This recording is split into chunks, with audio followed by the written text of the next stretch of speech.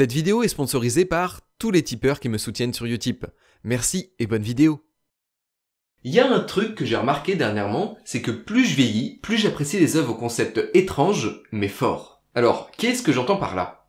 Dans les univers de fiction classique, un énorme paquet de raccourcis sont pris, très souvent implicitement et surtout pour faciliter l'entrée du lecteur, joueur, spectateur dans le récit. Dans les récits prenant comme base notre univers, c'est assez évident. Inconsciemment, nous plaquons notre société sur celle dépeinte dans le récit et sur l'univers ambiant. Des humains comme nous, planètes sphériques, les saisons, la pluie, un système sociopolitique qui nous semble familier, les mêmes notions de bien et de mal, les mêmes problématiques sociales, économiques, etc. Et même dans les récits se plaçant dans des univers totalement fictifs, nous continuons d'y appliquer notre vision du monde, tant que le récit ne nous contredit pas explicitement. Par exemple, même si l'histoire met en scène de la magie, s'il y a des humains dedans, on les imaginera avec deux bras, deux jambes, une tête, dans un monde avec des plantes vertes et une gravité semblable à la nôtre, et dans un système social où le meurtre est au moins vu comme répréhensible, par exemple.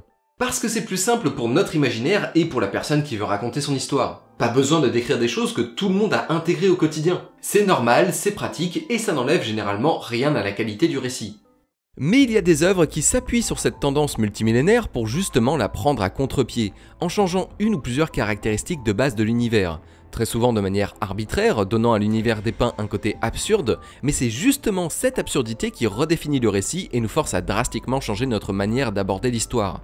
Et personnellement, j'ai tendance à adorer ça, parce que ça sort totalement des sentiers battus, visuellement et scénaristiquement, même si c'est hyper casse-gueule.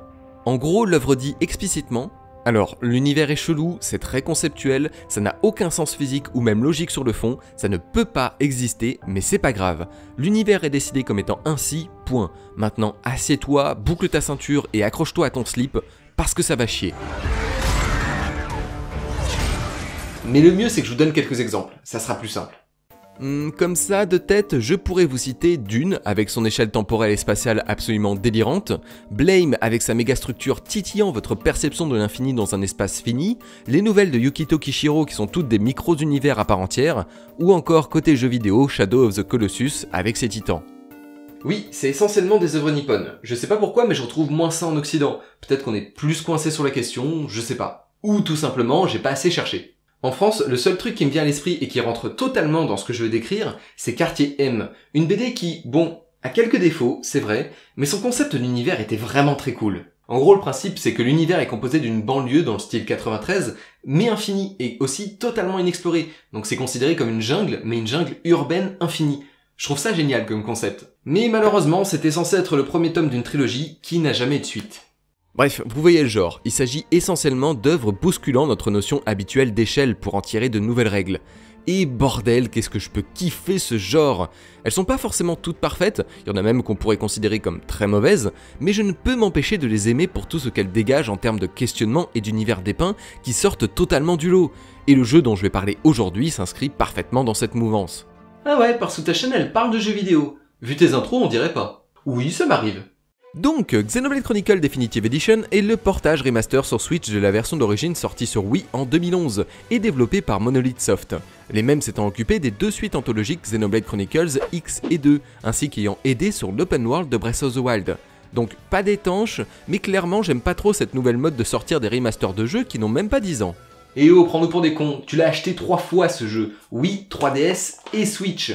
Et collector la version Switch en plus. Ok, ok, d'accord, je suis grillé. J'avoue, je suis un petit peu collectionneur sur les bords. T'es surtout un putain weeb, ouais. Bref, Xenoblade Chronicles est donc un JRPG d'action se passant dans un univers original techno-fantasy racontant l'histoire de Shulk, un jeune homme qui vivait paisiblement dans une colonie sur le corps de l'immense cadavre du titan Bionis, jusqu'au jour où une bande de créatures mécaniques, appelées les Mekon, ennemis jurés des hommes, attaquèrent sa colonie, tuant l'ami d'enfance slash love interest du héros. Après l'attaque, celui-ci partit donc en quête de vengeance, équipé de la seule arme capable de vaincre aisément les Mécon, l'épée Monado. Épée qui grandira avec son porteur lors de son aventure, lui offrant de nouveaux pouvoirs, notamment celui à double tranchant de voir dans l'avenir. Ainsi, d'abord parti pour une sombre histoire de vengeance, Shulk, en tant que porteur d'une arme au pouvoir incommensurable, se retrouvera embarqué dans une histoire épique et fantastique dont dépendra le destin de l'univers tout entier. Avec ses rencontres, ses découvertes, ses combats, ses échecs, ses réussites, ses complots et ses trahisons. Bref, c'est du très grand cru en termes d'histoire. Voilà en gros de quoi parle le jeu sans trop spoiler. Et sur le jeu en lui-même et sur cette édition d'une manière générale, je n'aurai qu'une chose à dire, faites-le. Si vous avez une Switch, que vous ayez fait le jeu à sa sortie ou non, ou que vous pensiez que les JRPG c'est pas pour vous ou non, je vous en conjure, faites-le. Ou au moins donnez-lui sa chance. Cette édition définitive a repris le jeu d'origine quasi tel quel. En fait, les seules modifications apportées sont une passe sur l'ergonomie générale du titre, un mode combat en time attack, un mode expert qui consiste simplement en un utilitaire qui permet de bidouiller votre niveau max pour ajuster la difficulté comme vous le voulez, une réorchestration de certaines musiques, ne justifiant cependant pas l'achat d'un vinyle collector, surtout quand on n'a pas de lecteur de vinyle, et un épilogue d'une bonne dizaine d'heures en plus à la fin du jeu. Dispo dès le lancement d'ailleurs, ce qui est plutôt cool. En fait, le plus gros changement visible direct du titre, c'est vraiment l'upgrade graphique. La version Wii était plutôt sympa sur ce point, même si tu sentais que la console était en train de crever pour chez ses pixels. D'ailleurs, j'ai toujours pas compris comment ils ont fait pour faire rentrer ce jeu là-dedans. Et la version Nous 3DS, j'en parle même pas. Quelle idée de foutre un RPG aussi grandiose sur un écran aussi petit La Switch par contre rend enfin honneur aux environnements incroyables du titre. Non mais regardez ça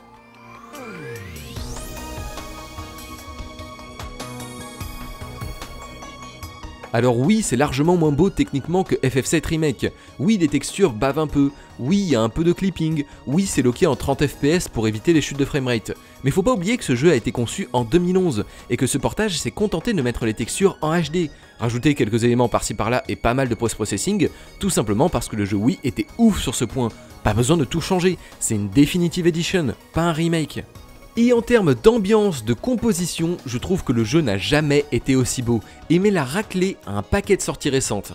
Les changements jour-nuit sont impressionnants, il y a des endroits à couper le souffle qui respirent la vie ou qui sont juste dépaysants, et d'une manière générale, la direction artistique du titre est juste dingue.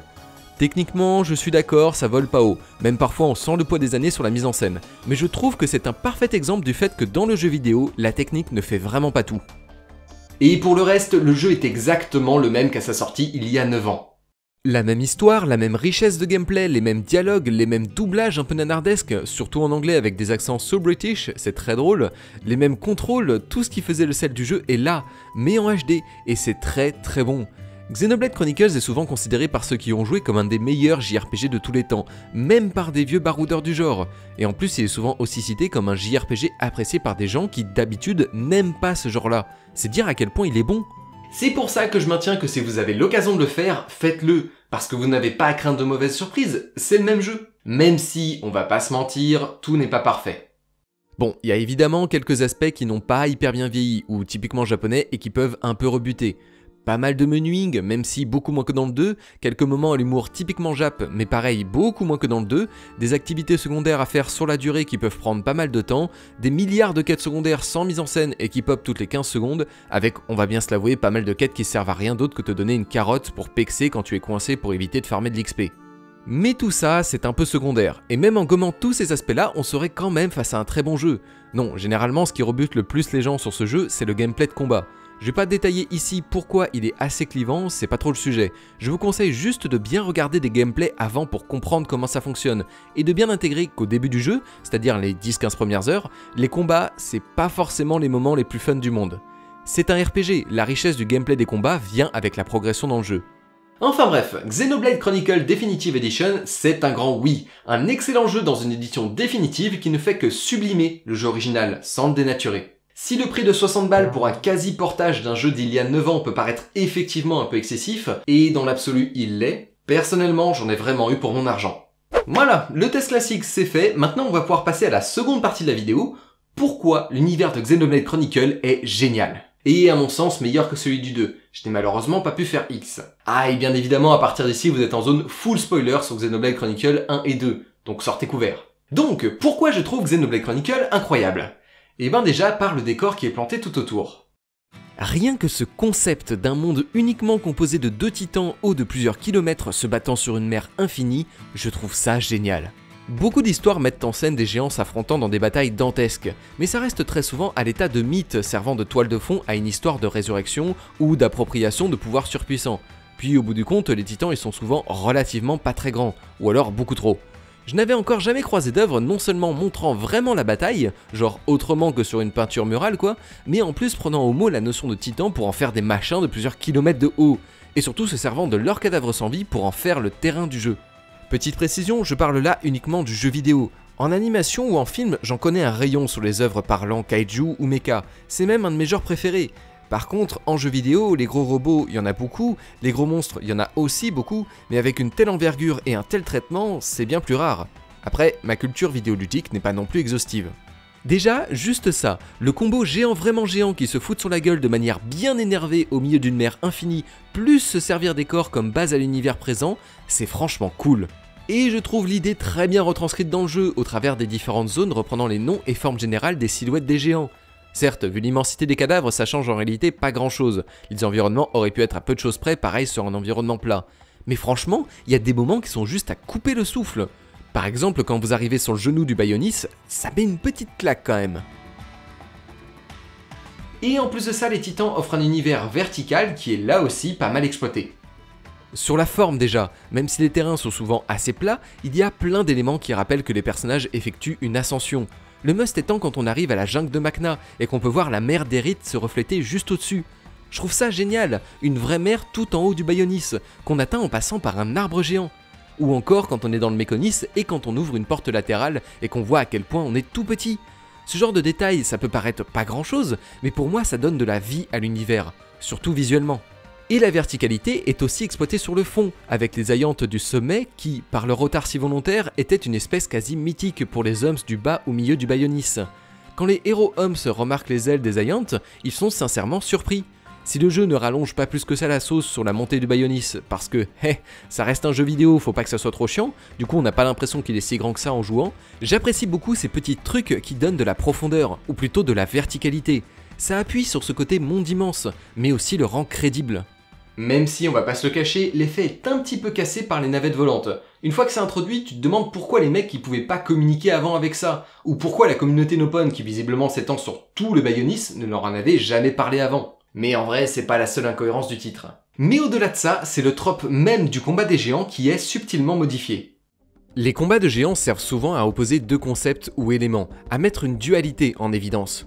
On retrouve beaucoup ça dans la mythologie Pokémon. En fait, on retrouve même quasi que ça, avec la notion de triade pour l'équilibre. Xenoblade oppose aussi deux titans, mais sur un plan un peu différent d'habitude. Le titan sur lequel sont nés les hommes s'appelle le Bionis. Le bio rappelant évidemment le mot biologie, et ainsi toutes les espèces nées sur le Bionis sont des créatures ressemblant à celles que l'on connaît.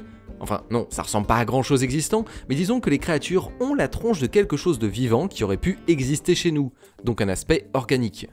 L'autre titan, le Méconis, est le berceau des Mécones, mais surtout des Machinas, les pendants mécaniques des hommes. Là encore, le mot ressemblant à mécanique, machine, donc évidemment les créatures venant de la dépouille du Méconis ont un aspect très métallique, à base de rouages, d'engrenages, d'anneaux flottants. On dirait des horloges gigantesques qui ont pris vie en adoptant une forme vaguement humanoïde et un poil flippante. On sent qu'il y a une histoire, un background, une vie qui se dégage de tout ça ce qui change des ennemis métalliques classiques de ce genre de jeu qui prennent souvent comme inspiration le mobilier, beaucoup moins classe. D'ailleurs, si vous faites ou refaites le jeu, prenez bien le temps d'apprécier les designs des Mekon et des fascias. J'en remets volontairement une couche, si le jeu n'est pas techniquement dingue, visuellement c'est un pur bonheur. Ça fourmille de petits détails visuels dans tous les sens et c'est pas souvent qu'on voit ce genre de design, même dans des JRPG. Mais ce que je préfère par-dessus tout visuellement, c'est vraiment l'ambiance des environnements. La mer d'Eris avec sa pluie d'étoiles la nuit au-dessus des îles flottantes, les brumes et arbres lumineux du marais de Sartolt, les cascades immenses de la jungle de Macna, le cœur de l'usine du Méconis, la structure d'Agnirata, on passe juste de dinguerie en dinguerie. D'ailleurs, j'ai été un peu déçu de voir que l'artbook de la collector se concentrait essentiellement sur les personnages, et peu sur les environnements. Bref, ce qui est intéressant ici, c'est bien évidemment l'opposition entre corps biologique et corps mécanique, mais je pense que ça va un peu plus loin. Il existe une théorie dans le domaine de l'exobiologie stipulant qu'on pourrait découvrir dans l'univers des formes de vie comparables à celles que l'on connaît, mais absolument pas basées sur de la biochimie carbonée, comme celle qui nous entoure. En gros, pour ceux qui n'ont jamais fait SVT, l'atome de carbone est présent dans quasiment toutes les molécules composant le vivant. Pourquoi le carbone? Eh bien parce qu'il est tétravalent, c'est-à-dire qu'il offre 4 liaisons stables possibles avec d'autres atomes, soit le maximum possible, lui permettant de faire des molécules très complexes. Et un des rares autres atomes offrant une tétravalence est le silicium, composant principal de nos ordinateurs, et composant principal de l'hypothétique biochimie du silicium. Hypothétique car le silicium possède aussi beaucoup de contraintes, et qu'on connaît encore mal la création de la vie d'une manière générale. C'est pour ça que je pense que le jeu met en scène en fait la rencontre entre deux biologies fondamentalement différentes, plus qu'une simple confrontation entre l'homme et la machine. Les machinas seraient nés d'une biologie basée sur un truc ressemblant à du silicium, et les hommes sur un pseudo-carbone. Et je dis bien pseudo parce que c'est pas notre univers. Visiblement, la base de la vie du Bionis, c'est l'éther, et la base de la vie du Méconis, c'est l'éther aussi, mais un peu modifié. C'est pas des atomes, mais ça joue le même rôle scénaristiquement. Ce qui colle aussi avec l'origine très scientifique de l'univers du jeu. Alors, pour la suite, du coup, je vais avoir besoin d'expliquer rapidement comment est né cet univers. En gros, au XXIe siècle, dans notre univers, est découvert un truc chelou en Afrique appelé le conduit. Visiblement de la matière exotique capable de connecter plusieurs dimensions.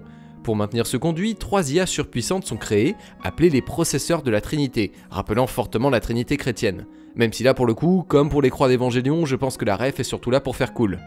Un des scientifiques travaillant sur le conduit, Klaus, voyant en celui-ci un don de Dieu pour élever les humains au rang de divinité, décide de s'en servir pour rebooter l'univers pour corriger tous les problèmes de celui existant. Sauf qu'évidemment, ça n'a pas hyper bien fonctionné, créant un second univers, y attirant au passage un des processeurs de la Trinité, qui deviendra Alvis, oui oui, ça c'est un corps cristal d'Aegis, Alvis est une blade, Galéa, une collègue de Klaus qui voulait empêcher celui-ci de faire n'importe quoi et qui deviendra Mainas, l'avatar du Méconis, et la moitié de Klaus qui deviendra Zanza et l'avatar du Bionis, expliquant pourquoi les deux s'affrontent au début de Xenoblade, même si les motivations de Zanza resteront toujours très floues. L'autre moitié de Klaus restera dans notre univers, sur une planète Terre vidée de ses êtres vivants. Seul être existant est devenu ironiquement le dieu de cet univers-là. Il refera apparaître la vie de zéro dans cet univers, provoquant des années plus tard les événements de Xenoblade Chronicles 2. C'est pour ça qu'on entend Shulk lors de son combat final à la toute fin de Xenoblade Chronicles 2. C'est parce qu'on l'entend au travers du portail de l'architecte qui a la moitié de son corps dans le second univers. Et j'aime beaucoup cette idée. C'est pas des suites, c'est pas des jeux anthologiques non plus, ce sont deux jeux liés par une même origine, mais aussi par un personnage physiquement et scénaristiquement coupé en deux, et qui au final ne se rencontrent jamais. Je trouve ça génial comme concept. Surtout qu'en réalité cela n'influe que très peu de savoir l'origine des jeux. Je trouve même que la part de mystère qui planait là-dessus jusqu'à la fin de Xenoblade 2 était plus intéressante. Souvent, moins en dire c'est mieux que trop en dire. Après, il y a quelques légères différences entre ce qui est laissé entendre à la fin de Xenoblade 1 par rapport aux explications de Xenoblade 2, notamment la volonté de Klaus Zanza, légèrement différente, et tout le rôle d'Alvis qui dit qu'il est la Monado et en même temps une unité de traitement ultra avancée. Du coup, pour les explications, j'ai pris en compte la fin de Xenoblade 2 et considéré qu'Alvis avait en quelque sorte fusionné avec le nouveau monde créé, lui permettant de dire que oui, quelque part, il est aussi la Monado. Bref, tout ça pour dire que l'univers de Xenoblade Chronicles est né de la volonté d'un scientifique de moduler un monde selon son désir, expliquant ainsi pas mal d'éléments. Dans le 2, l'architecte explique bien que c'est lui qui a remodelé l'ADN pour créer les êtres biologiques et les Blades. Ça ne me paraît pas illogique de penser que Zanza et Mainas ont fait de même dans le second univers, respectivement avec le Bionis et le Mekonis, appliquant leur savoir sur cet univers vierge. D'ailleurs, ça explique aussi le comportement de la Monado. Sa capacité à voir le futur, donc plus simplement lire dans la fabrique même de la réalité pour prévoir les événements, vient de l'envie de Klaus et de Zanza de tout contrôler, en sachant que c'est lui qui a forgé cette lame et qui a mis son âme. D'ailleurs, la Monado, ou plutôt les Monados, parlons-en. Déjà, micro aparté, a-t-on vu une épée aussi belle dans le jeu vidéo? Franchement, je trouve ce design à la fois épuré et complexe, avec le jeu sur les couleurs bleu et rouge très très classe, surtout dans sa version 2. C'est atypique, classieux, sans être too much, ça a de la gueule. Ensuite, j'apprécie beaucoup l'utilisation qui en est faite dans le jeu et son histoire, bien plus qu'un simple gimmick comme on pourrait le reprocher à une Master Sword par exemple, qui est là principalement pour signifier la progression du joueur, mais surtout pour indiquer qu'il est prêt à casser du grand méchant. La Monado n'est pas traitée seulement comme une arme de jeu vidéo, mais bien comme un concept et comme un personnage, et c'est ça qui est intéressant. Alors oui, c'est une épée et elle ne parle pas, encore que. Mais c'est quand même l'objet au centre du jeu.